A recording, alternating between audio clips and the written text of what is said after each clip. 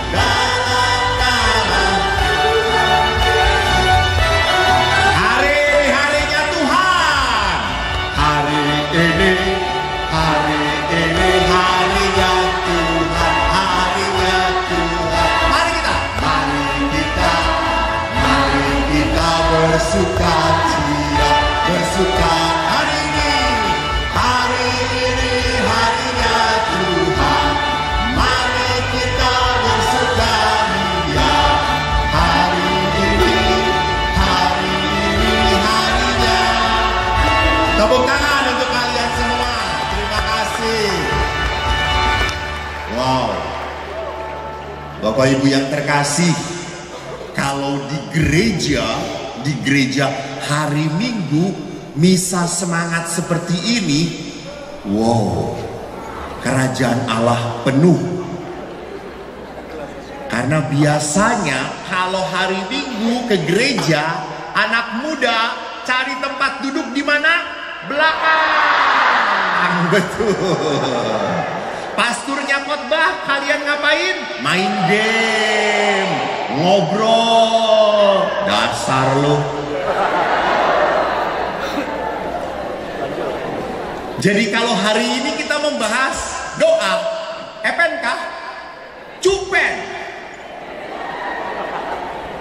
Bukan hanya cukup penting, emang penting banget.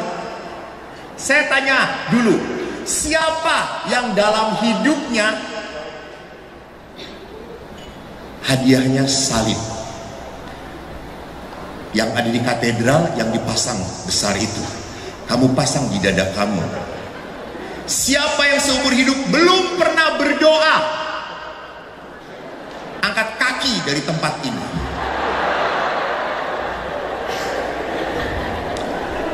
Oke, syukur pada Allah. Semua pernah berdoa. Nah, sekarang kalau pertanyaannya dirubah. Siapa yang pernah kecewa doanya tidak didengarkan Tuhan? Wih, saya tanya anak muda, ibu-ibu yang duluan angkat tangan. Bagus, bagus. Artinya kalian kita masih normal. Saya 25 tahun di rumah retret pernah ketemu putra altar, putri altar masjinar. Dia rajin. Bahkan misa harian pun sering melayani. Suatu saat, kok tiga bulan saya nggak ketemu dia. Ke mana anak ini? Tiga bulan berikutnya nongol seorang perempuan. Dia nongol, hei, dia melihat saya, apa? Sini, sini. Mau? Pastor tanya, apa? Kenapa kamu sudah tidak lama, sudah lama tidak melayani? Anak itu berkata apa?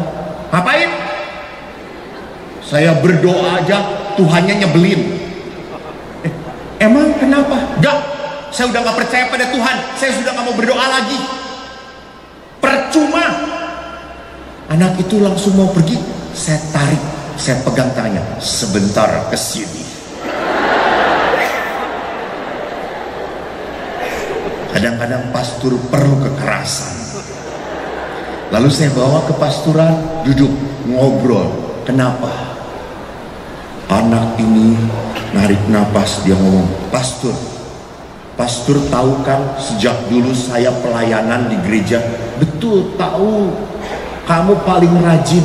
Ya pastor, saya rajin. Tapi saya kecewa dengan Tuhan. Kenapa?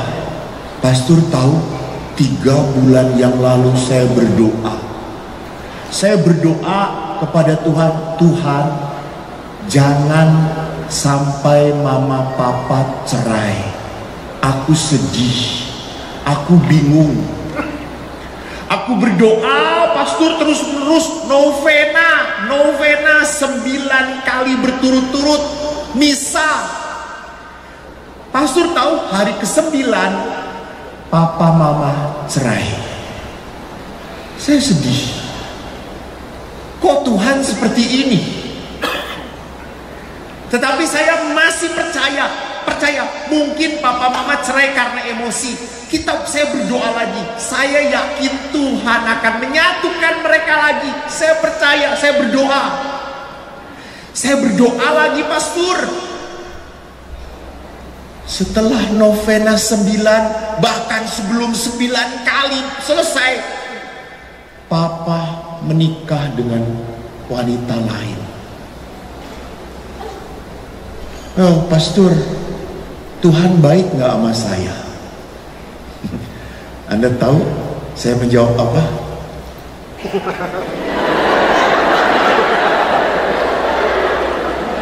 Anak itu sekarang menjawab, jawab pastor, Tuhan baik nggak? Lalu saya ngomong, enggak. Nah, ngapain saya berdoa kalau kayak gitu? Percuma kan? saya ngomong, Iya, percuma. Terus gimana Pastor? Saya pulang? Sana.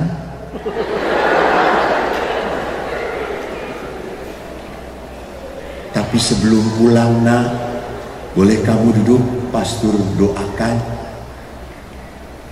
Percuma Pastor? Enggak. Kamu yang berdoa percuma. Kalau pastor yang berdoa nggak percuma. Kenapa pastor seperti itu? Karena kamu sudah kehilangan iman, aku masih punya iman pada Tuhan. Saya doakan ya. Anak-anak, saya doakan anak itu dia menangis. Dia menangis. Dan aku pun menangis. Kita sama-sama menangis. Setelah itu dia tanya, kenapa pastor menangis? Saya mengatakan, saya sedih. Saya juga sedih kalau jadi seperti kamu. Saya juga akan marah pada Tuhan kalau jadi seperti kamu. Saya juga berpikir pasti Tuhan juga menangis. Kok begitu pastor? Ya, karena yang mau papa kamu cerai itu bukan Tuhan, bukan. Enggak, bukan Tuhan. Lalu siapa yang membuat papa mama saya cerai? Iblis. Iblis. Setan. Lalu si anak itu ngomong, oh berarti papa saya sekarang kawin dengan setan ya Pak Surya. Bisa jadi kata saya. Teman-teman yang terkasih, lihat bahwa doa itu tidak selalu membuat mudah segala hal. Tidak, tidak. Jangan berpikir, Pastor, kalau saya mau ulangan, saya doa pasti bisa ya. Saya mengatakan, belum tentu. Apalagi kalau do, kamu berdoa matematika, Tuhan tolong. Mate, matematika paling berat, betul anak-anak? Betul. Saya juga paling sebel dengan guru matematika, betul. Saya pernah berdoa kepada Tuhan, Tuhan, semoga Bapak Ibu guru matematika dilembutkan hatinya. Tidak ada, tidak. Guru matematika di mana pun kejam. Selalu pinternya nyalah-nyalahkan saja. Dan kalau sudah menjelaskan, dia jelas, saya tidak jelas-jelas. Sehingga suatu hari waktu saya frater, saya pernah mimpi dibawa ke surga oleh Santo Petrus. Jalan-jalan melihat surga. Lihat kok surga, wah bagus banget. Kamu mau masuk? Mau. Terus Santo Petrus berkata, mati dulu. Nanti. Lalu Santo Petrus berkata, di sini semua orang ada. Oh ya, kecuali guru matematika tidak ada. Kenapa Santo Petrus? Karena guru matematika membuat anak-anak menderita. Setuju. Jadi saudara-saudariku yang terkasih, lihat doa tidak begitu saja membuat segala kehidupan menjadi mudah. Lalu untuk apa berdoa? Mari kita lihat slide-nya. Oke. Tadi kita bicara kecewa kepada Allah. Punya, ada. Saya 25 tahun di rumah retret paling sedih. Kalau ada anak-anak yang nangis-nangis kepada saya cerita, Romo, papa mama saya, apalagi papa aktif di gereja, aktif, rajin ke gereja. Tetapi Romo kalau sudah di rumah, dia selalu menghajar aku, nyakitin aku. Percuma papa berdoa Romo, kalau udah marah, uh, kesetanan dia. Jadi saudara-saudariku, sering kali sedih.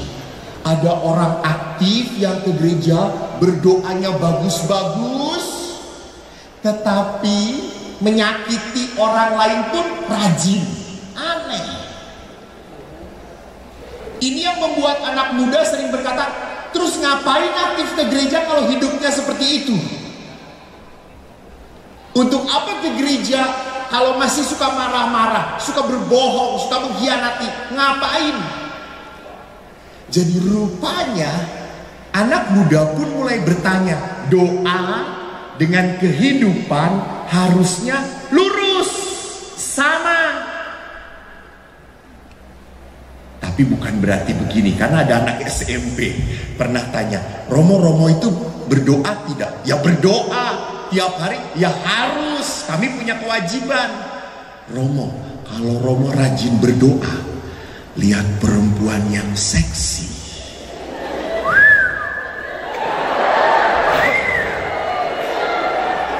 Saya pernah sekolah di Filipina orang Filipina itu kalau pakai baju yang ini turun yang ini naik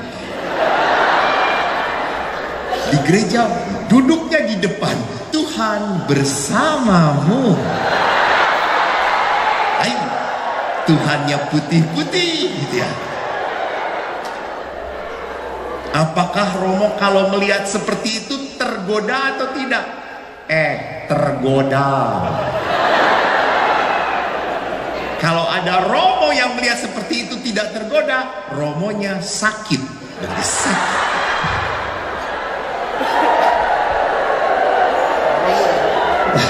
Lalu kalau Romo tergoda bagaimana? Ya saya hanya berkata, Tuhan ampunilah aku, orang berdosa ini.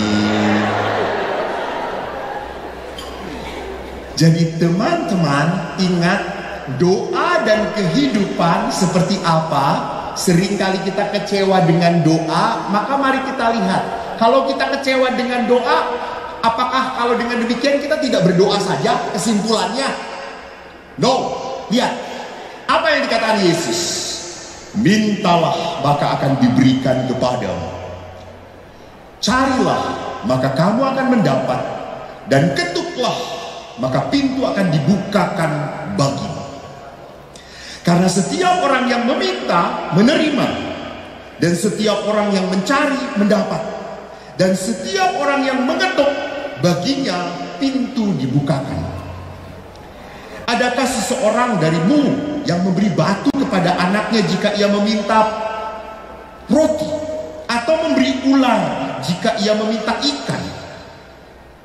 Jadi jika kamu yang jahat tahu memberi pemberian yang baik kepada anak-anakmu, apalagi Bapamu yang di surga, ia akan memberikan yang baik kepada mereka yang meminta kepadanya. Lihat, minta dapat, cari, eh, sorry, minta diberi, cari dapat, ketuk dibuka Hebat banget. Ini Yesus ngomong seperti itu jelas banget. Lalu ada yang bertanya, Romo, Tuhan kan maha tahu. Tuhan kan tahu keinginan kita, kebutuhan kita, apa yang kita cari. Lalu ngapain masih harus ngomong kepada Tuhan? Kenapa saya harus masih berbicara pada Tuhan? Kan namanya Tuhan maha tahu. Nah, Bapak Ibu, Tuhan itu butuh mendengarkan kita. Walaupun dia tahu, tapi Tuhan butuh mendengarkan. Pernah enggak kita lihat dalam Injil, Yesus membuat mujizat iseng. Dia lihat yang buta, eh ngelihat kamu. Dia lihat yang eh jalan, jalan, jalan, jalan, jalan. Dia lihat yang apa namanya, yang sakit kusta sembuh tidak ada, tidak ada. Yesus tidak pernah membuat mujizat iseng sambil jalan. Yang miskin eh jadi kaya. Yang buta eh ngelihat. Yang jelek eh tetap jelek. Gitu tidak. Yesus membuat mujizat. Selalu mujizat itu didahului dengan apa? Seruan. Tuhan tolonglah aku. Tuhan sembuhkan aku. Tuhan pulihkan aku. Jadi setiap mujizat selalu diawali dengan sebuah apa? Permohonan. Selalu diawali dengan apa? Permintaan. Maka Yesus selalu setelah mujizat dibuat apa yang dikatakan oleh Yesus? imanmu menyelamatkan engkau. Imanmu. Jadi orang itu berseru karena apa? Karena percaya, karena beriman.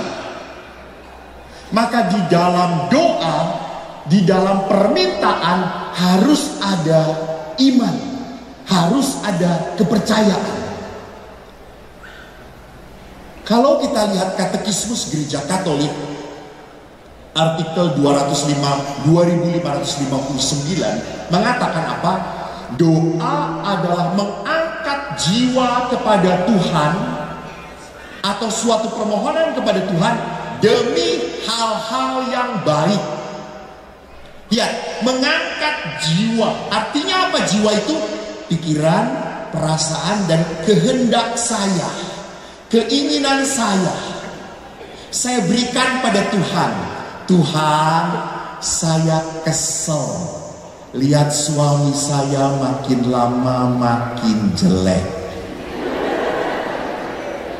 Lalu para suami pun tidak kalah berdoanya. Tuhan, lihat istriku.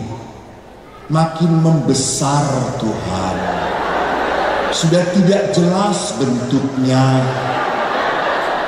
Antara gentong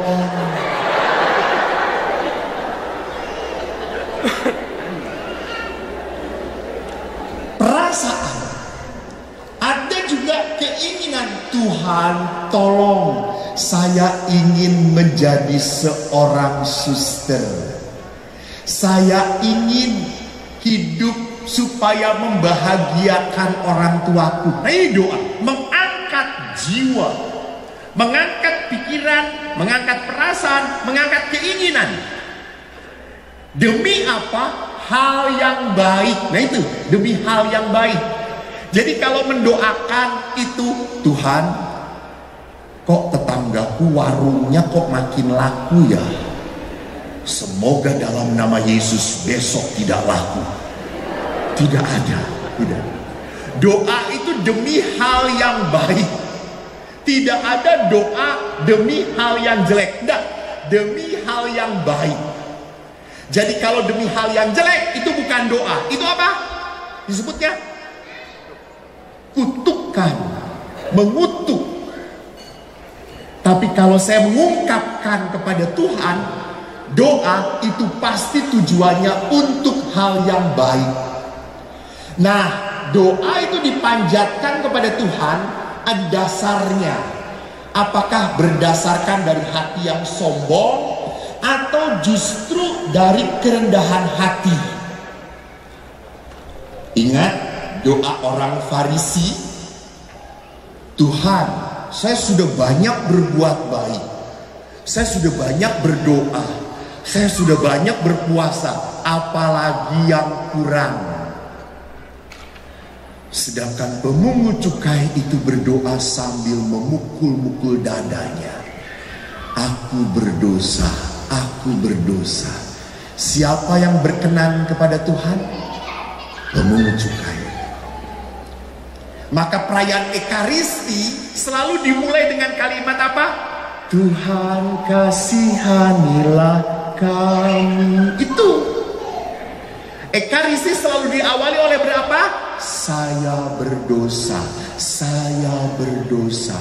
Saya ditambah jadi tiga kali sekarang. Karena dua kali nggak sadar-sadar.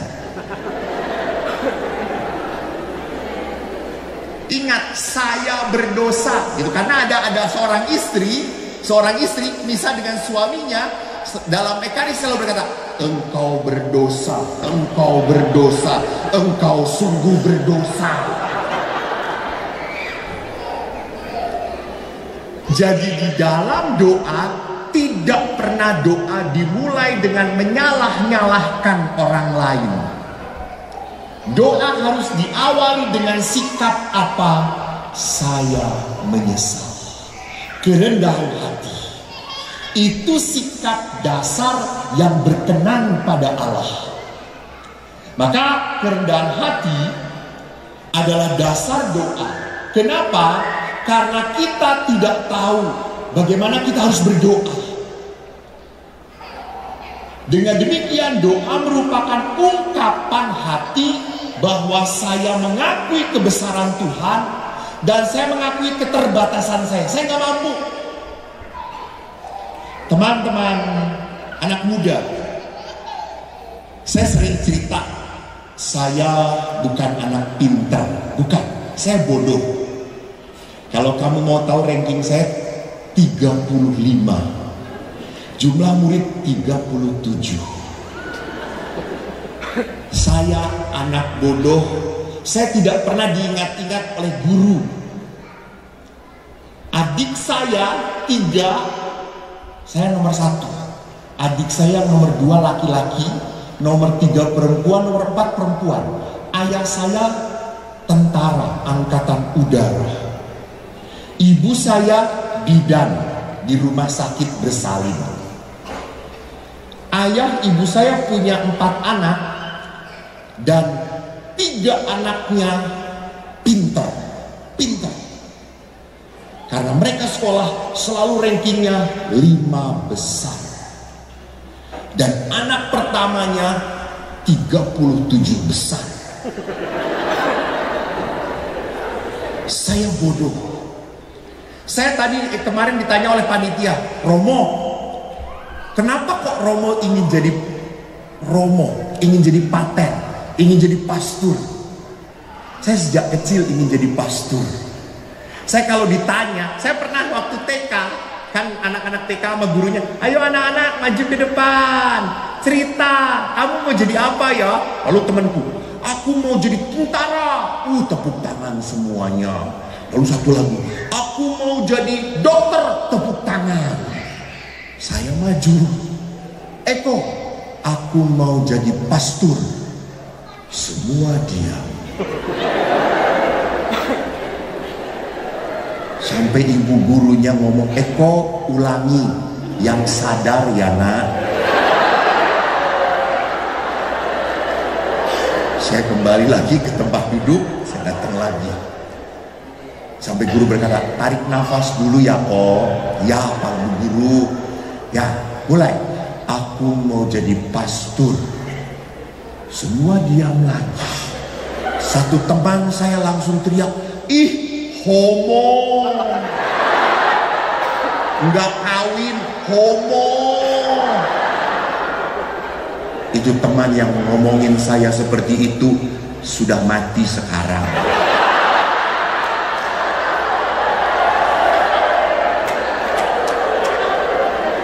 Kualat dia melawan anak yang diberkati Tuhan.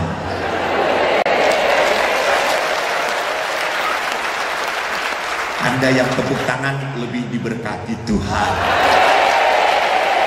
Yang menyusul tepuk tangan bohong.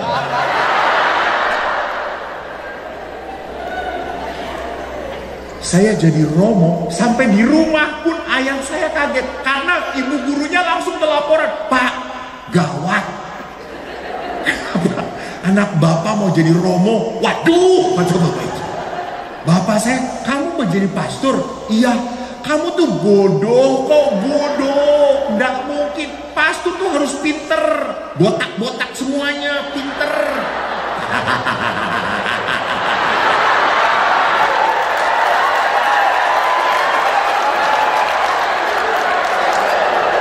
Kan botak lambang pinter kan? Berarti otaknya dipakai gitu itu namanya nggak nyindir pastor nggak nyindir saya memuliakan pastor gitu ya. Ayah saya berkata, kamu itu bodoh, bodoh, bodoh. Saya sampai biarin kok mau jadi pastor, biarin untuk menjadi pastor. Nggak mungkin kok susah, sekolahnya berat. Lama-lama saya jengkel. Saya berkata, biarin nanti Eko kalau sudah jadi pastor khusus untuk orang-orang bodoh. Dan Tuhan mendengarkan doa saya, saudara-saudara. Terima kasih, Anda setuju, Anda bodoh. Tapi teman-teman lihat bahwa apa yang tadi dikatakan Allah itu maha besar. Saya mau, saya mau. Dan setelah sekolah, betul, saya nggak bisa. Saya nggak bisa. Pelajarannya susah. Dan saya sempat dua kali mau dikeluarkan dari seminari bukan karena saya jatuh cinta oh tidak tidak. Saya VUTW Pria unggul tanpa wanita.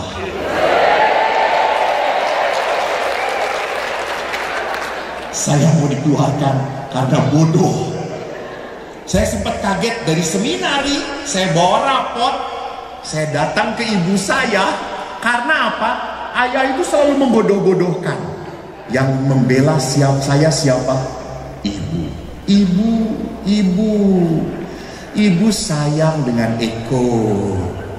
Ibu sangat percaya Eko jadi pastor, jadi pastor. Ibu selalu berdoa. Sampai kalau ayah berkata, "Kamu bodoh, kamu bodoh." Ibu langsung memeluk Eko dan berkata, "Kok enggak apa-apa." harus ada yang bodoh supaya ada yang pinter. Lalu saya berkata, kok bodoh enggak apa-apa ya bu? Enggak apa-apa, asal jangan selama-lamanya ya nak. Lalu saya tanya, kalau selama-lamanya kenapa bu? Memalukan keluarga nak.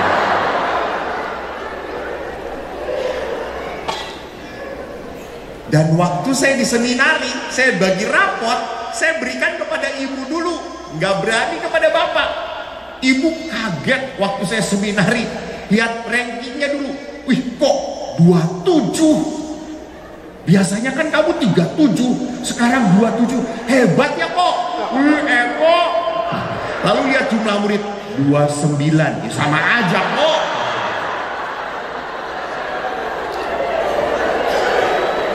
Tapi sedikit maju tobu kata saya. Ya yang nggak mungkin kamu ranking 35 nah orang jumlah muridnya aja 29 kata. Tapi Bapak Ibu ingat karena saya dilahirkan dengan kapasitas otak yang pas-pasan alias bodoh alias saya mengikuti pelajaran susah saya itu kalau membaca apa pun baca pelan-pelan baik-baik dan saya kalau menjelaskan sangat jelas sekali betul atau tidak kalau anda sampai tidak mengerti anda lebih bodoh dari saya Saya itu kalau menjelaskan kalau khotbah semua pada senang. Promo khotbahnya bagus, mudah kita cerna. Iya iya orang bodoh saya kata saya. Maka bodoh itu anugerah Tuhan. Haleluya. Jadi anak-anak yang rankingnya 35 jangan takut jadi romo. Tuhan lebih berkuasa dari orang tuamu. Kita ingat, kita itu punya Tuhan, bukan punya masalah doang. Jadi kalau manusia hanya tahu punya masalah doang, tidak punya Tuhan, pasti ketakutan, pasti khawatir, pasti tidak mungkin. Dan Eko ini dulunya kagum dengan Bapak Uskup. Satu angkatan saya ada dua uskup hebat. Dua-duanya pinter, saya kagum. Uskup Bandung itu teman saya sejak SD, pinter sekali. Kalau mau ulangan, saya ambil buku, saya tanya, dia bisa menjawab titik komanya juga percis. Sampai saya ngomong, eh dan lu kayak mesin fotokopian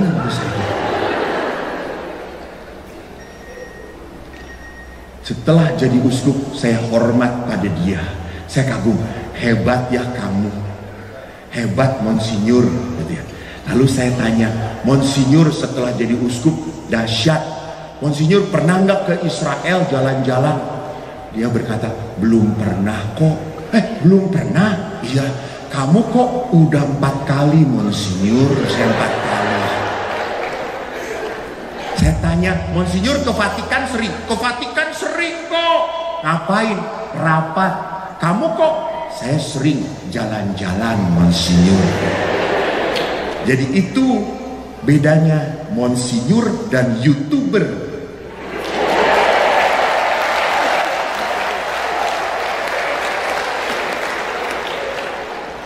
lihat apa yang saya mau katakan di saat orang percaya pada Tuhan mau hidup di dalam Tuhan dan bersama Tuhan bahkan kekurangan pun menjadi berkat di dalam Tuhan. Jangan hanya berpikir, Bapak Ibu, teman-teman, kalau kamu dapat nilai 10, 9, haleluya, puji Tuhan. Biasa aja kali. Orang tak beriman pun seperti itu. Nih gue, matematika 6, haleluya puji Tuhan enam aja senang eh beriman coy anak Tuhan coy yang menyelamatkan bukan angka 10 tapi percaya dalam Tuhan Jadi Bapak Ibu, apa yang kita lihat mengakui kebesaran Tuhan dan mengakui keterbatasan saya. Tidak mungkin, tidak mungkin. Sama, saya kok tiba-tiba bisa menjadi terkenal. Jangan pikir bahwa terkenal itu menyenangkan anak-anak. Tidak, tidak.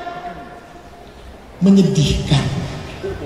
Apalagi nanti setelah acara ini saya lihat yang minta foto-foto. Ya ampun. Sedih. Karena kalau ibu foto-foto, ibu-ibu foto-foto, mama nempel semuanya. Ayo Romo, ayo Romo, ayo Romo. Semua ditempelkan pada Romo. Mama ini pikir Romonya tembok apa ya? Sampai pernah oma-oma nempel semuanya. Oma, jangan terlalu nempel-nempel. Kata saya tuh. Ini bukan susu Romo, ini lato-lato Romo.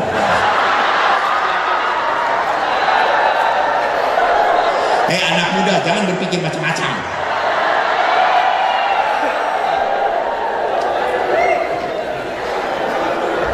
Jadi teman-teman yang terkasih, lihatlah bahwa doa adalah sebuah tindakan manusia yang percaya dan berserah. Artinya apa? Saya tahu Tuhan punya kuasa. Yang kedua, saya punya keterbatasan. Tidak mampu, tidak mampu. Maka lihat bagaimana kita belajar dari Yesus. Yesus berdoa semalam-malaman. Dan lihat, Yesus berdoa di dalam kitab suci sebelum saat-saat krusial, sebelum saat-saat gawat, sebelum dia memilih para murid, sebelum Yesus memanggul salib, sebelum Yesus menyerahkan nyawanya, berdoa. Jadi doa itu jangan pada saat kita berhadapan masalah baru berdoa, telat. Setelah kita berhadapan dengan soal, aduh susah. Tuhan tolong. Tuhan akan di atas berkata, saya juga nggak bisa. Iya susah. Selamat berjuang anakku. Berdoa sebelum ujian, bukan pada saat ujian susah baru berdoa telat. Sejak kita mau menghadapi masalah, kita libatkan Tuhan. Kita libatkan Tuhan. Ada seorang bapak berkata, Romo, saya punya toko Romo. Terus gimana? Ya kadang-kadang saya iri dengan toko sebelah. Waktu saya tunggu toko, dia sama jualannya dengan saya, harganya pun kita sama. Kenapa kok toko sebelah rame Romo? Banyak pembeli. Lalu saya tanya, lalu pada saat Bapak melihat banyak pembeli, bagaimana? Ya saya berdoa Romo.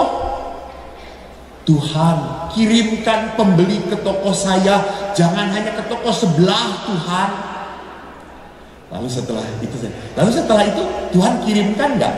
Tidak Romo, Ya telat karena Tuhan sudah kirimkan ke tempat itu. Dia duluan doanya.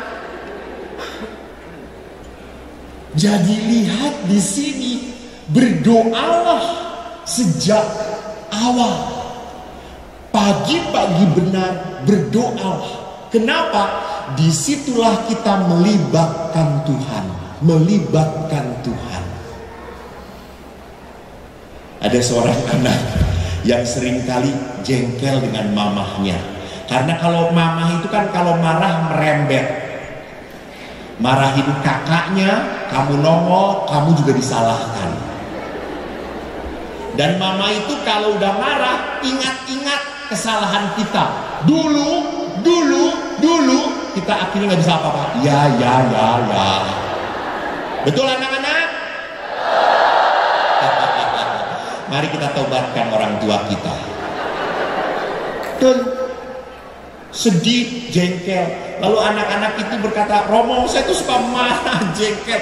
Mama tuh ngomel, terus ngomel, terus ngomong, terus cerewet, terus betul anak-anak? Karena memang Tuhan menciptakan mama kamu untuk cerewet anak-anak. Tidak ada mama di dunia ini yang tidak cerewet. Tidak ada, tidak ada. Mama itu semua wajah seperti mulut. Matanya seperti mulut. Hidungnya seperti mulut. Kupingnya seperti mulut. Itu mama kamu. Nah, nah, nah, nah.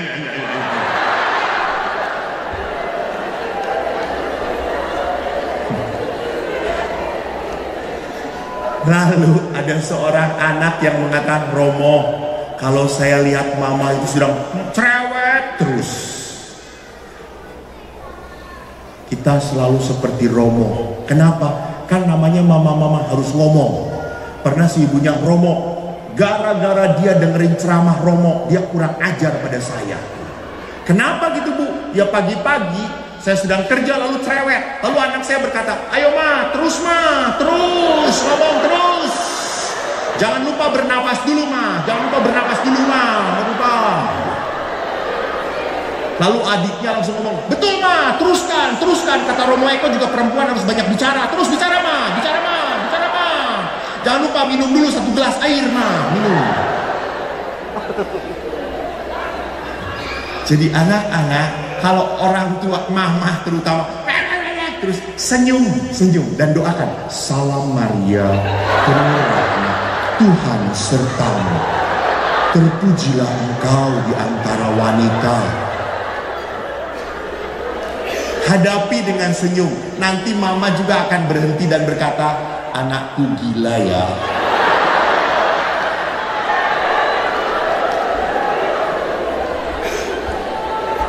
Jadi teman-teman yang terkasih, jadi lihat, libatkan Tuhan, libatkan Tuhan. Jangan pernah takut dengan hidupmu. No, hidup kamu ada di dalam Tuhan. Maka libatkan Tuhan. Jangan kamu berani jalan sendirian. No, libatkan Tuhan. Pada saat libat kau melibatkan Tuhan, maka Tuhan akan campur tangan dengan hidup kamu. Maka Yesus lihat dasar Yesus berdoa adalah apa? Bapamu baik. Bapamu murah hati. Maka kalau kita berdoa, kita bukan berdoa untuk merubah Tuhan, bukan. Kita berdoa untuk mempersiapkan hati kalau Tuhan berkenan, doa kita sesuai dengan apa yang Tuhan mau, syukur pada Allah. Kalau terjadi tidak seperti yang saya mau, saya bisa menerima, saya bisa berdamai. Itu doa. Jadi doa bukan memaksa Tuhan, ubah, ubah, ubah. No, Tuhan itu tahu segala-galanya. Tuhan tidak perlu diatur oleh kita. Saya kemarin dari Jakarta berangkat pukul 00.05 tanggal 3 dari Bandung saya harus berangkat jam 5 karena travelnya harus 6 jam. Takut macet. Jakarta tidak bisa diprediksi. Jam 5 sore tanggal 2 saya berangkat naik travel ke Jakarta. Jam 8.30 sudah sampai Terminal 2 Jakarta. Saya naik batik. Saya makan nasi bungkus dari rumah paket hemat air bawa sendiri dari rumah makan diam sendirian tidak mau cari ada orang katolik takut minta saya makan setelah makan saya berpikir saya harus tidur supaya nanti sampai ke Sorong saya segar saya cari kursi selalu di window, di jendela. Saya berdoa, Tuhan, semoga sebelah saya kosong. Atau kalaupun tidak kosong, semoga sebelah saya orangnya kecil, tidak makmur, sejahtera. Saya diam, banyak yang masuk, eh tidak mengisi sebelah saya. Eh saya tenang sekali. Terima kasih Tuhan, terima kasih. Kosong rupanya. Tiba-tiba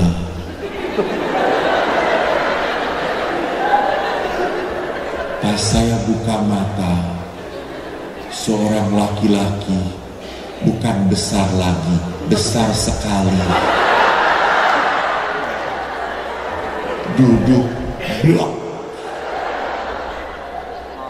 Tangannya kena payudara saya. Untung payudara saya kecil. Tangannya di sini saya lihat ke sebelah kanan. Wow. Narik napas pun harus saya atur.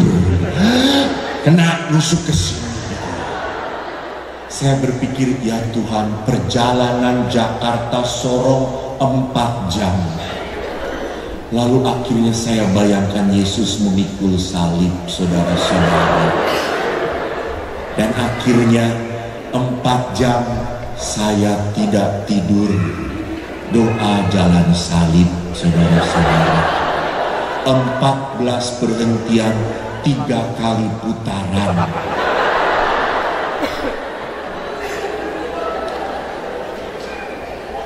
Ya sudah damai.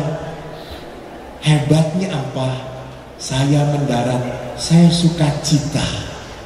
Saya tetap cerah dan panitia menjemput saya salah orang.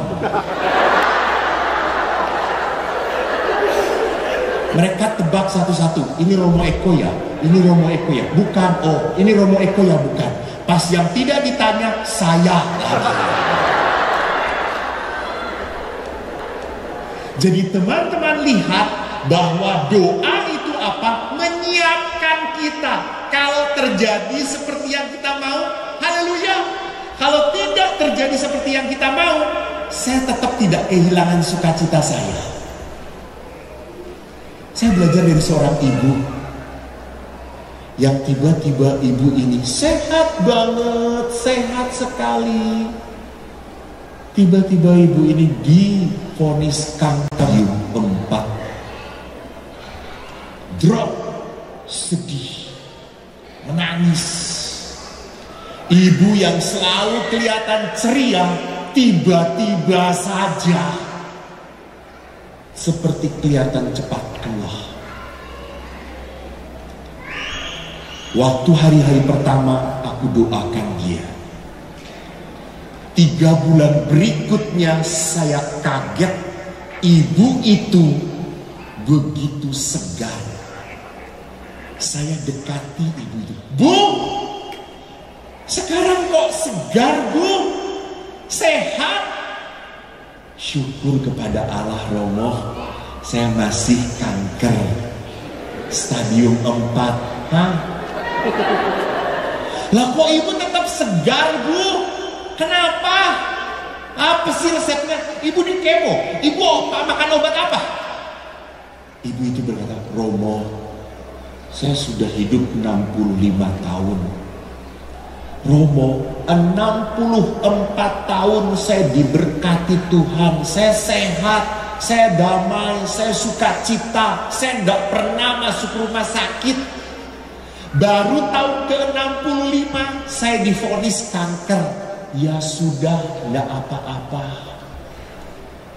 Kanker yang menyakitkan itu tidak akan pernah menghilangkan berkat Tuhan yang 64 tahun sudah saya nikmati. Edan, hebat itu ini. Bapak Ibu hati-hati. Seringkali berkat Tuhan yang begitu besar kita hilangkan karena kita punya masalah, punya penderitaan yang sedikit. Kita sedih, kita menangis, kita berteriak, Tuhan tidak berpihak padaku. Tuhan tidak mendengar doaku. Eh kampret. Lu kalau Tuhan gak mendengar doamu, modar kowe, wes modar kowe, udah mati kamu. Bapak Ibu, doa itu membuat kita apa? Tetap hidup dalam percaya. Doa akan menguatkan kita. Terima kasih. Tuhan memberkati. Shalom.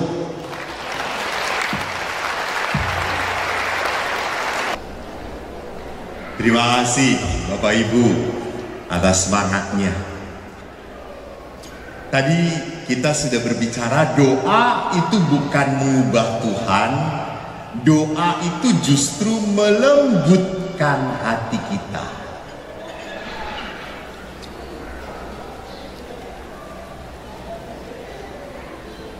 Seorang anak suatu saat ikut resepsi perkawinan. Saya ada di situ, anak SMP. Waktu saya lihat tamu-tamu tuh menikmati makanan. Anak ini gelisah, bolak-balik, cemberut. Lalu saya deketin anak itu, nak, kenapa? Ini pesta makanan enak-enak, kamu kok cemberut? Romo, besok banyak ulangan, banyak PR, belum dikerjakan. Jengkel saya. Ini mama ndak pulang-pulang lagi. Oh ya sudah nak, mari kita doakan supaya mama kamu bertobat ya. Lalu tak lama kemudian saya pamitan dengan yang punya pesta bu, maaf saya mau pulang. Oh ya Romo terima kasih. Pas saya jalan keluar, itu pun rupanya pulang bersama orang tuanya. Anak itu jalan dengan saya, kita ngobrol. Mamanya di belakang teriak-teriak, "Nah, tuh kamu kan sedang jalan dengan Romo Eko. Kan kamu kan besok mau ulangan banyak, banyak tugas, minta didoakan sama Romo Eko supaya kamu bisa." Lalu anak ini teriak, "Ma, mau didoakan sama uskup juga kalau tidak belajar tetap aja nggak bisa." Lalu saya ber- berpikir, nah kamu bener, mama kamu error, kata saya. Jadi apa yang saya mau katakan, doa itu bukan berarti setelah doa Tuhan yang kerja. No, no, no.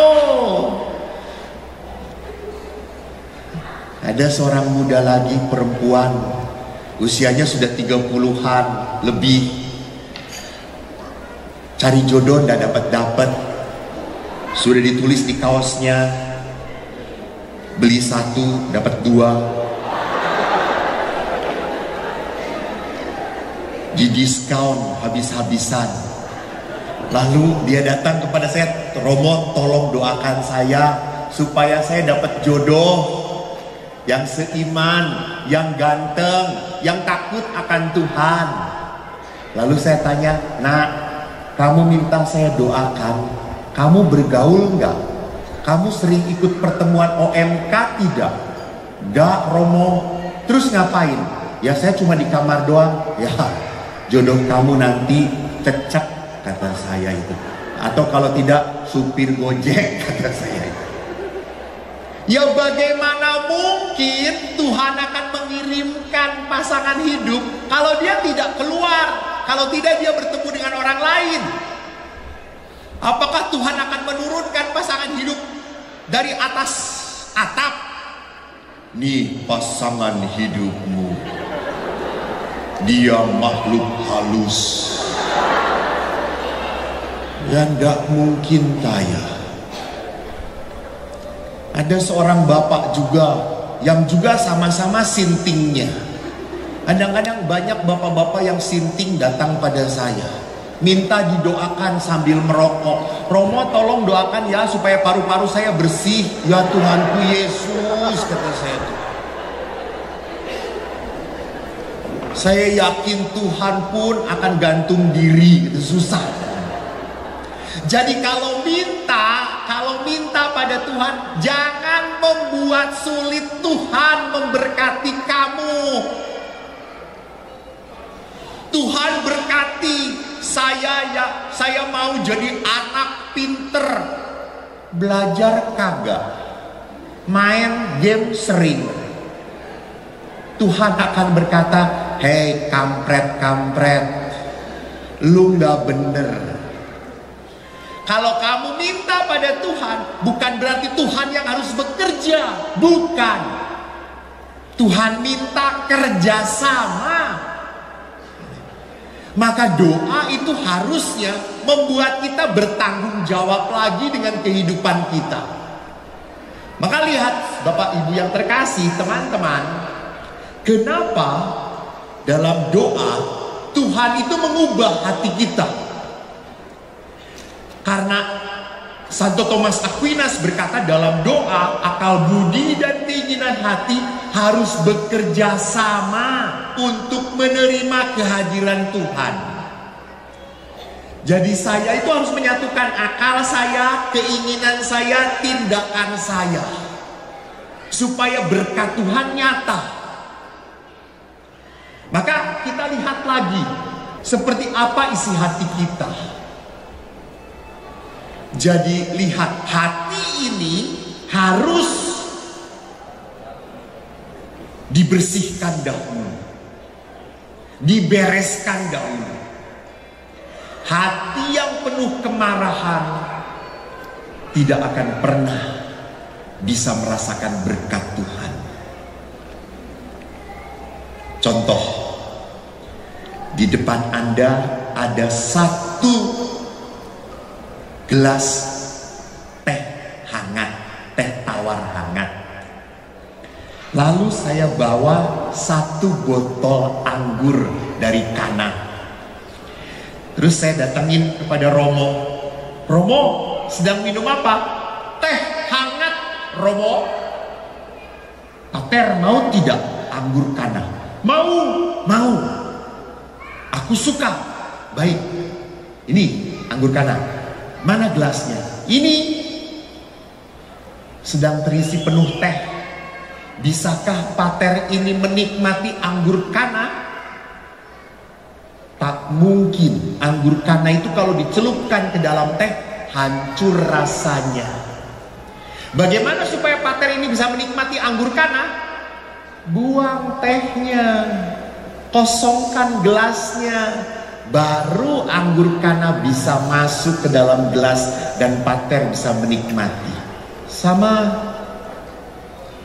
kalau Anda mau menikmati damai Tuhan, tapi Anda masih punya kemarahan, masih punya jengkel, masih punya dendam, yang nggak akan mungkin damai, coy.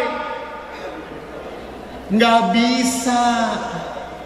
Nggak bisa Tuhan memberi damai. Karena hatimu dipenuhi dengan hal-hal yang menghalangi berkat Tuhan.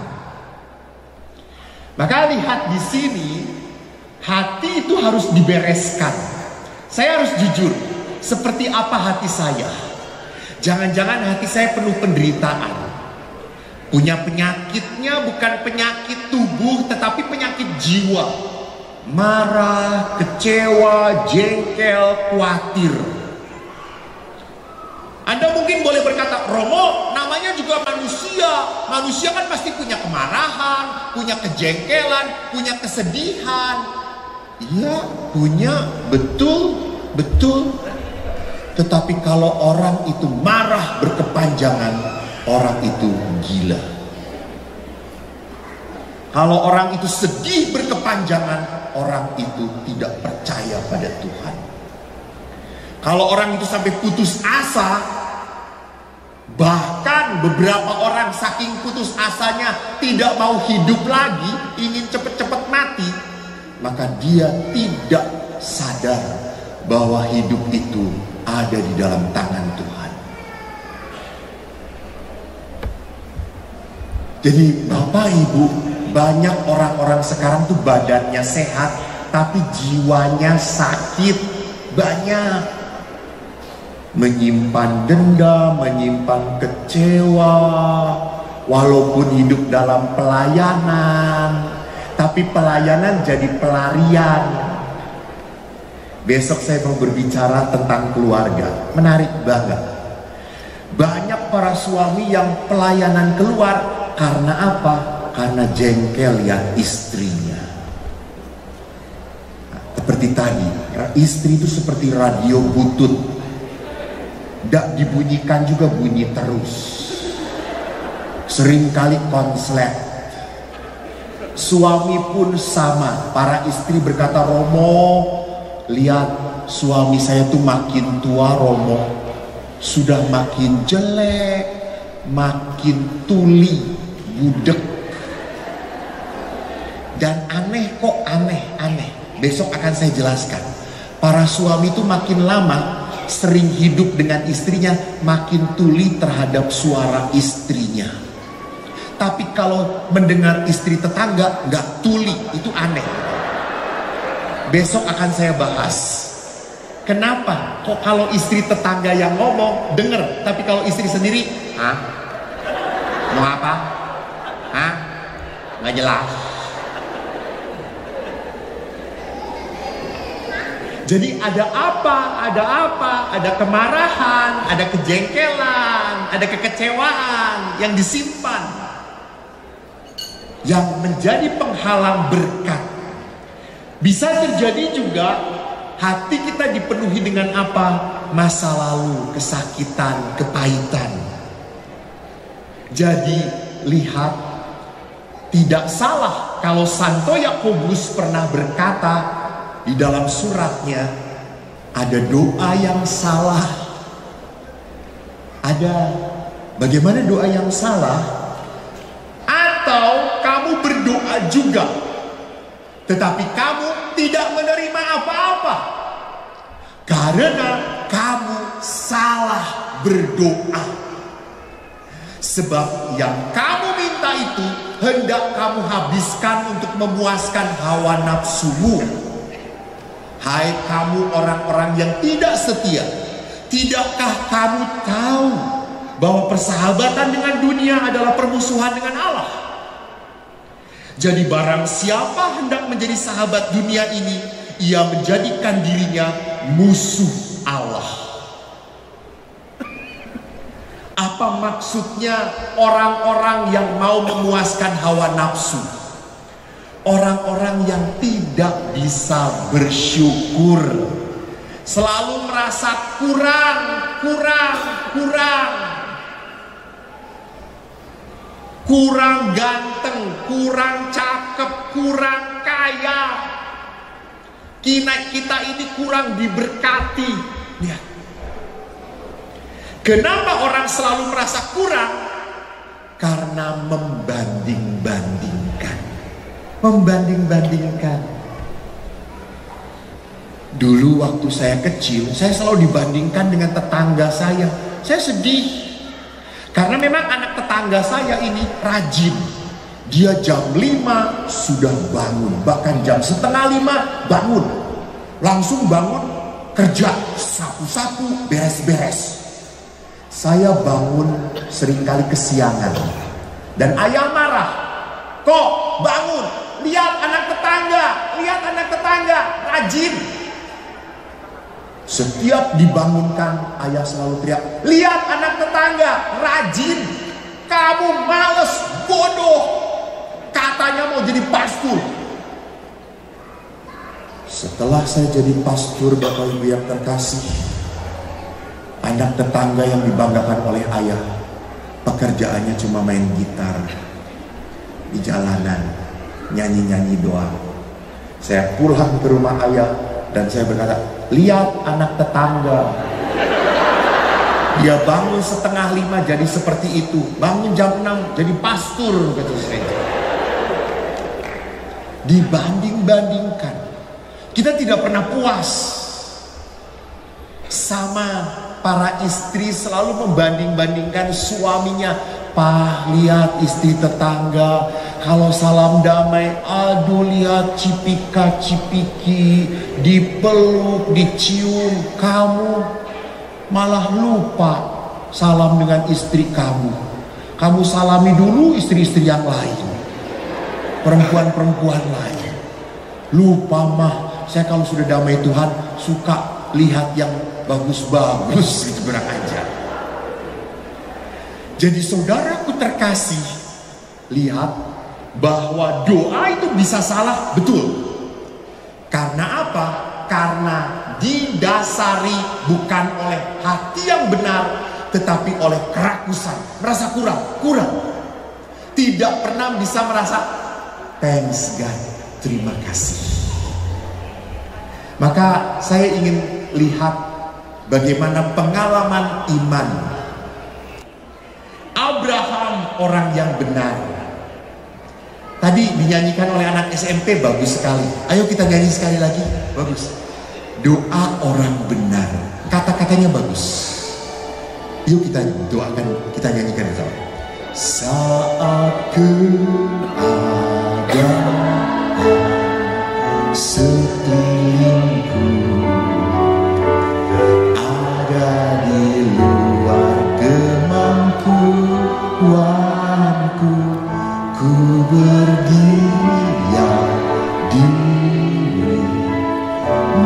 mencarimu doa mengubah segala sesuatu Bagus banget ya. Saat keadaan begitu susah, saya tidak bisa ini, saya tidak bisa itu.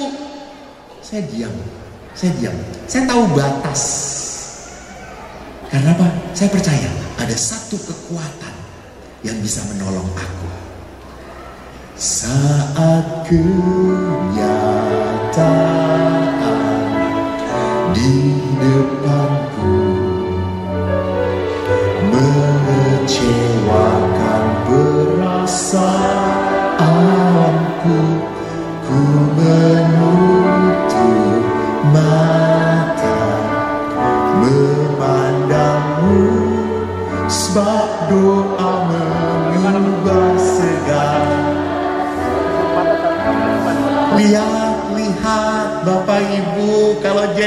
dengan pasangan tutup mata, tutup mata. Jangan lihat makin jengkel. Tutup mata. Berdoa, berdoa. Tuhan saya tidak bisa mengubah suamiku yang seperti ini. Dan Tuhan akan berkata, betul, betul. Saya tidak bisa mengubah suamimu. Saya tidak bisa mengubah istrimu. Saya tidak bisa mengubah anak-anakmu. Lalu apa yang akan Tuhan lakukan? Doa orang benar bila didoakan dengan yakin besar kuasanya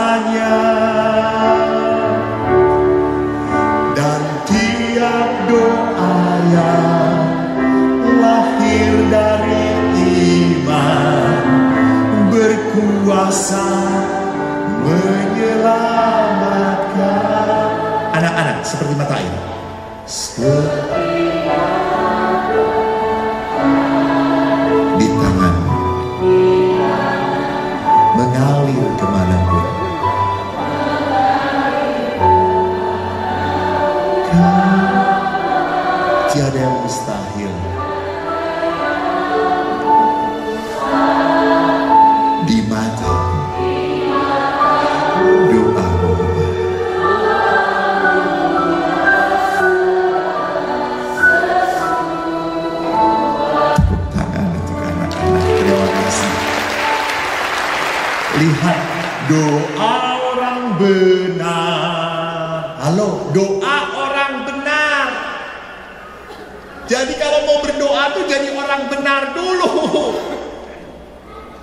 jangan jadi si borokokok jangan jadi orang linglung. Orang benar doa orang benar. Bila didoakan dengan yakin besar kuasanya. Lihat orang benar siapa? Para nabi. Abraham. Dia benar. Kenapa? Karena dia setia kepada Allah. Maka saudaraku lihat apa kebenaran di dalam doa yang bisa kita lihat. Pertama orang benar selalu melihat bahwa Allah itu kasih. Yang kedua, Allah itu selalu merencanakan damai sejahtera bagi hidup kita, bukan rancangan kecelakaan. Supaya mendatangkan kebaikan bagi mereka yang mengasihi Dia. Jadi orang benar selalu percaya, walaupun saya berdoa dan terjadi tidak seperti yang saya alami, ah, tidak seperti yang saya inginkan, saya masih percaya Tuhan tetap mengasihi saya. Tuhan tetap mengasihi saya. Saudara-saudari, saya itu di Bandung, di Jakarta pun terkenal sebagai imam pencabut nyawa. Jadi kalau orang sudah sakit parah, didoakan oleh saya, tak lama kemudian dipanggil Tuhan. Mau dicoba suster? Boleh. bisa menjadi kesaksian di kota Sorong ini ndak apa-apa suster. Saya itu sampai saking terkenalnya dan saya tidak tahu saya sudah melihat suka kasihan Tuhan. Tapi kan lama-lama juga jengkel karena pernah suatu saat ada ibu-ibu yang berkumpul di biara kami. Karena di biara kami ada satu pastor yang doanya dahsyat sekali. Dia kalau doa dikabulkan, hebat, saya kagum. Dia pendoa. Saya tidak akan ngasih tahu, takut orang sorong datang. Jos sekali. Ada usaha yang mulai hancur, didoakan dia naik lagi. Banyak kesaksian. Ada orang yang minta jodoh, tak lama kemudian berjodoh. Dengan saya didoakan tak berjodoh-jodoh. Dia tak berjodoh, saya pun yang mendoakan tidak berjodoh juga. Sampai suatu saat saya datang ke biara ada empat ibu sedang nunggu di ruang tamu. Lalu saya tanya, Bu, mau ngapain? Saya mau didoakan Romo. Oleh siapa? Oleh Romo itu. Dia sebutkan Romo yang memang punya karisma mendoakannya bagus. Oh, di mana Romonya sekarang? Itu sedang di kamar mendoakan Romo. Oh, ya sudah. Waduh Romo, saya dari sore nunggu lama. Oh ya sudah bu, saya kan nggak ada kerjaan. Ayo didoakan saya saja. Lalu ibu-ibu itu berkata, enggak, kami masih masih mau hidup Romo. Saya memang sepertinya lucu, tapi sedih, ya, sedih. Saya juga ingin dong kalau mendoakan orang terjadi mujizat. Ingin, ingin, ingin. Saya ingin. Supaya apa? Minimal, wah hebat didoakan Romo Eko. Josh, jangan didoakan Romo Eko. Cush. Saya berdoa Tuhan berikan karunia supaya saya bisa mendoakan dan terjadi mujizat besar. Setelah saya berdoa seperti itu teman-teman, Bapak Ibu, tiba-tiba bekas murid saya datang ke biara. Dia datang, Romo, woi, tolong doakan nenek saya sakit Romo. Oh, siap. Saya, uh, ini tanda dari Tuhan, coy. Ayo, uh, saya semangat ke rumah sakit. Anak ini tidak memberitahu neneknya seperti apa. Tahu-tahu saya masuk ICU. Ya Allah kata saya. Dan semua selang, semua kabel ada. Ya ini sih parah kata saya. Tapi kan barang siapa percaya pada Tuhan. Betul atau tidak? I believe in God. Kata saya. Saya datang nenek itu melihat saya. Nek, kita berdoa. Percaya Yesus? Ah, berdoa mari kita nek. Lalu saya berdoa. Saya selalu berdoa kalau begini. Tak terbatas kuasamu Tuhan. Semua dapat kau lakukan. Apa yang kelihatan mustahil bagiku. Itu sangat mungkin bagimu. Dalam nama Yesus sembuh nenek, sembuh. Anda tahu setelah doa itu langsung. Dii.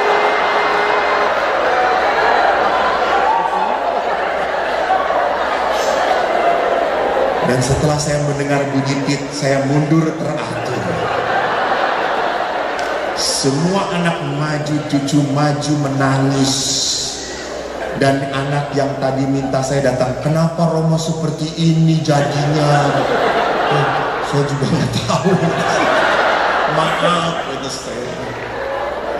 Dan Anda tahu, saya datang dijemput Mercy pulang naik gojek. Dapat amplop. Ucapan terima kasih pun tak ada. Sedih aku seperti jelangkung datang tidak diundang pergi sendirian saya pulang saya sedih saya berdoa langsung Tuhan tolonglah jangan perlakukan hambamu seperti ini ya kalau mau mati setelah saya pulang jangan di depan saya gitu sopan sedikit Tuhan Tapi lihat Bapak Ibu yang terkasih, jangan lupa kita ini alatnya Tuhan. Tuhan mau memakai kita. Kita tidak pernah boleh mencuri kemuliaan Tuhan.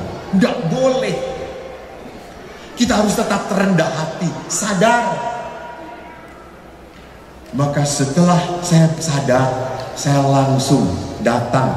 Waktu oma itu meninggal, saya misahkan requiem Tiga hari saya doakan, tujuh hari saya doakan. Sampai saya berkata, Bu, saya doakan khusus untuk Oma, tidak perlu ada stipendium, kata saya. Tidak apa-apa. Karena Oma yang mencabut nyawanya Tuhan lewat saya. Jadi Bapak Ibu lihat bahwa orang yang benar adalah selalu percaya apa yang terjadi semuanya demi kebaikan dan kemuliaan Tuhan. Nah, Santa Teresa Lisieux pernah berkata menekankan pentingnya syukur dan cinta kasih di dalam doa. Syukur adalah ekspresi iman dan harapan Iman mengakui Tuhan adalah segala-galanya dan harapan kenapa? Karena Tuhan itu maha tahu, maha baik. Jadi di dalam doa saya harus punya apa? Kepercayaan sungguh. Maka Santo Thomas Aquinas menggabungkan dengan indah sekali Mintalah maka akan diberi, cari kamu dapat, ketuk akan dibuka. Thomas Aquinas berkata, mintalah dengan imanmu. Carilah dengan penuh harapan. Ketuklah dengan cinta kasih. Jadi kalau kita meminta, percaya, percaya, terjadi, terjadi. Saudara-saudara, saya baru pulang sebetulnya tiga minggu yang lalu dari Israel. Saya bawa ziarah 40 peserta dan tiga imam termasuk saya. Hari Kamis kita mendarat di Mesir, hari Sabtu Gaza dibom. Jadi orang-orang ini di Mesir, kami bingung apa masuk Israel atau tidak. Anak-anak di Jakarta sudah pada telepon ke orang tuanya, mah jangan masuk bahaya, bahaya. Israel sebetulnya pintunya dibuka di apa namanya perbatasan Taba itu dibuka ditutup. Kadang-kadang dibuka, kadang-kadang ditutup. Kita boleh masuk, boleh. Tetapi tour travel Israel tidak menjamin karena tiba-tiba bisa terjadi ada rudal masuk atau peluru masuk dan tidak sengaja kena kita. Semua bingung. Ada yang takut, ada yang mau. Lalu mereka tanya, Romo bagaimana? Namanya gembala. Walaupun bodoh, gembala. Untuk orang-orang bodoh. Lalu saya ngomong, Bapak Ibu, saya ke Israel sudah tiga kali ini keempat. Saya sudah masuk, baru sekali ini saya tidak boleh masuk. Saya masuk, ayo, ayo. Kita nggak masuk juga ayo, terserah. Cuma ibu, bapak, kalau kita masuk, lalu tiba-tiba kita kena rudal, mati. Tiga hari kemudian akan ada berita di Kompas tiga orang pastor mati sahid. Lalu yang lain berkata, lalu kami 37 umat mati konyol. Kenapa pastor? Karena masih punya tanggung jawab, masih banyak utang kata saya tuh. Beresin dulu kata saya. Jadi Bapak Ibu, apa yang mau saya katakan? Bahwa orang beriman itu percaya, tetapi juga percayanya harus pakai otak. Kalau orang percaya tidak pakai otak, akan jadi fanatik. Pokoknya agama saya yang paling benar, ini yang paling benar.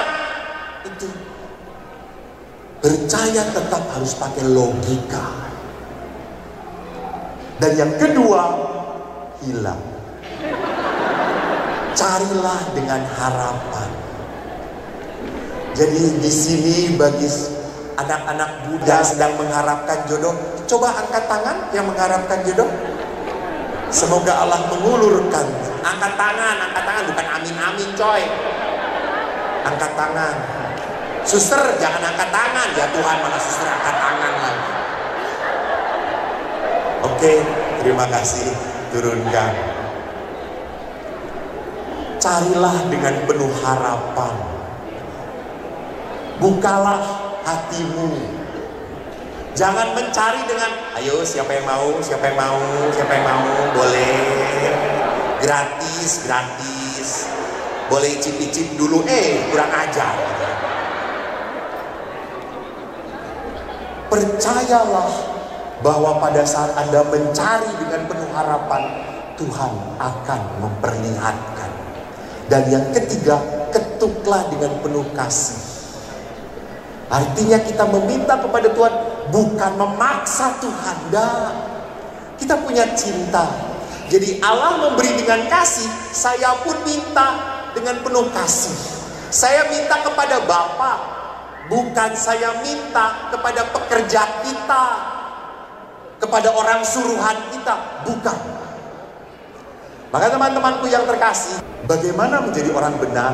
Tiga hal yang ingin saya katakan. Berdoalah dengan iman, percaya. Miliki hati yang bersih. Artinya doa jangan didasari oleh kemarahan, oleh kejengkelan. Nah, boleh doa, Tuhan saya kecewa. Boleh, boleh. Anda boleh mengungkapkan perasaan Anda pada Tuhan. Boleh. Saya pernah bentrok dengan sesama romo kakak kelas saya di biara ujengkel banget saya karena romo ini kalau diberi tugas selalu menolak padahal uang satu kita sama kurang ajar dia menolak pasti selalu ada alasan wih maaf saya sibuk saya pelayanan di sana di sini dan dia tidak memberitahu pelayanannya apa. Lama-lama Eko ini saking jengkelnya, saya ikuti dia pergi ke mana. Dia naik motor, gue dari belakang ngikutin. Anak tentara dilawan. Tahunya apa? Dia malah main badminton dan kunjungan sahabat-sahabatnya. Asem pada saya gue kerja keras, dia malah jalan-jalan enak-enak. Saya pulang, saya langsung datangi pimpinan. Romo, membunuh itu berdosa atau tidak? Kata saya. Emang kenapa? Mau saya bunuh itu pastor kayak gitu. Dia jadi pastor harusnya pelayanan, bukan cari enaknya sendiri. Kenapa? Ini, ini, ini. Sudah sabar kok. Doakan, doakan. Lalu saya jawab, sudah capek.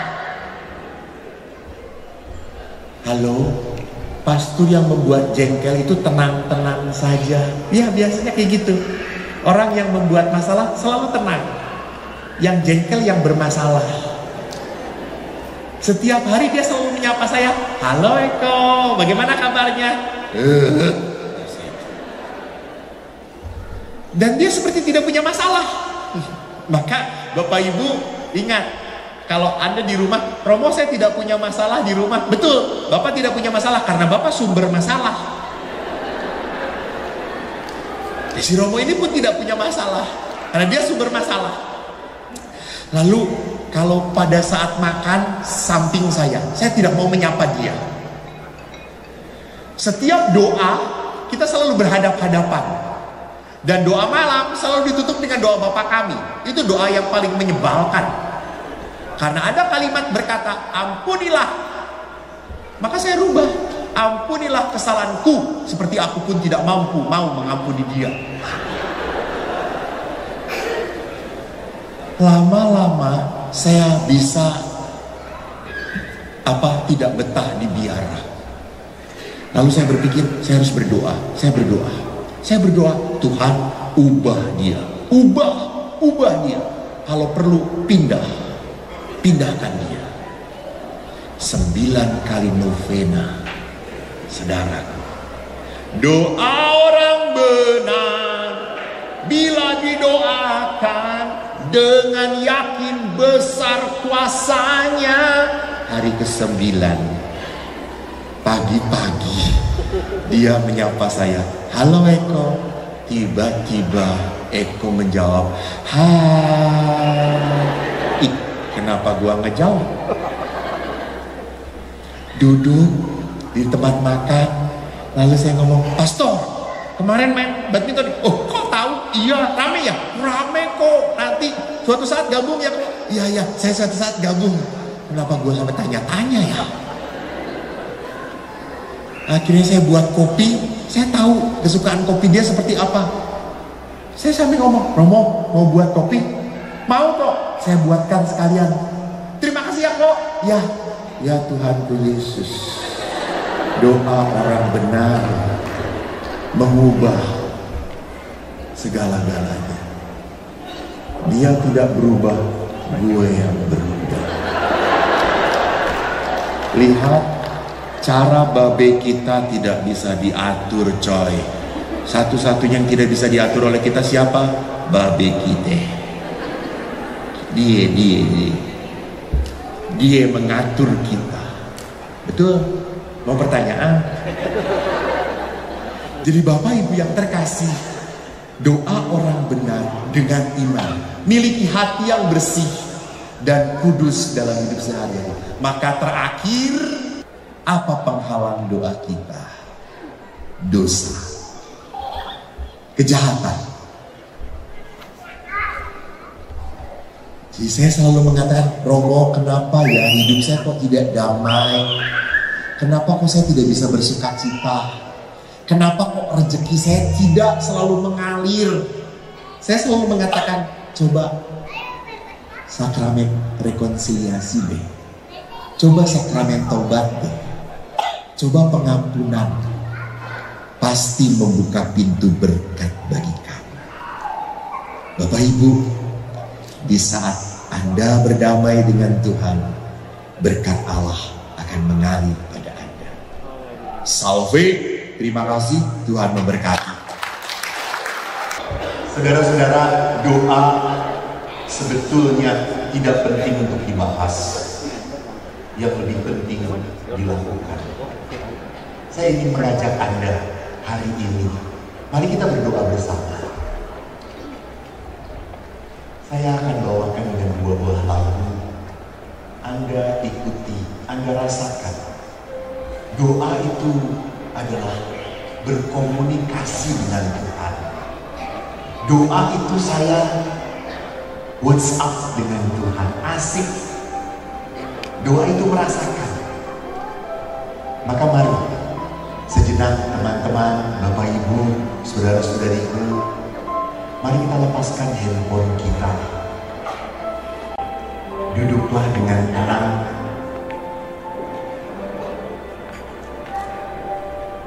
Tutuplah matamu. Letakkan tangan di dadamu. Kau hendak memberkati dirimu. Kau hendak mensyukuri hidupmu.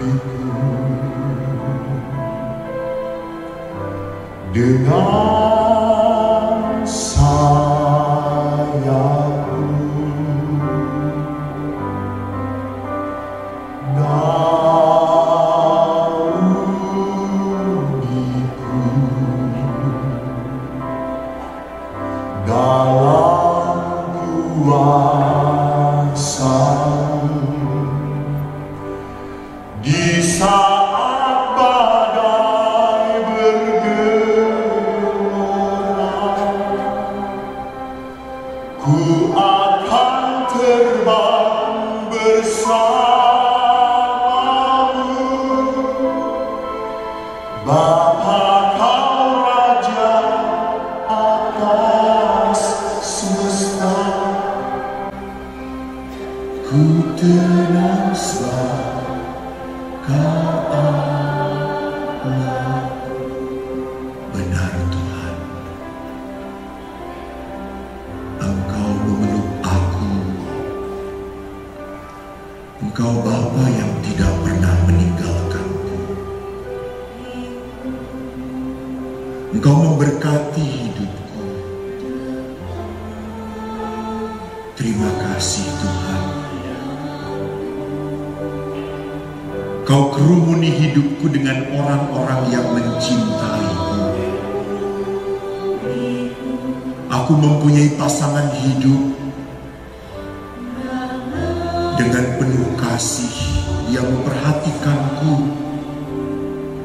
Dengan penuh pengorbanan ia melayaniku.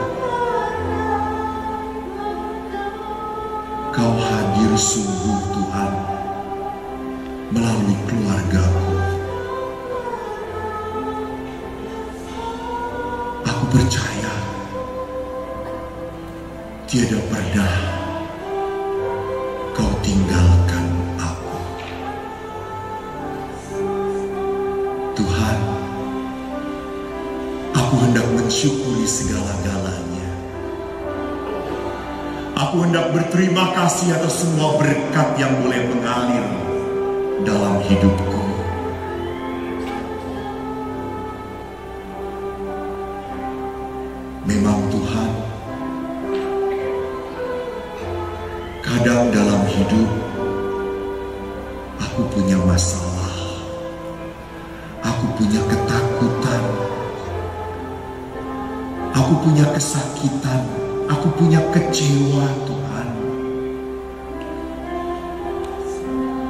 hal yang terjadi tidak seperti yang aku harapkan, tidak seperti yang aku minta.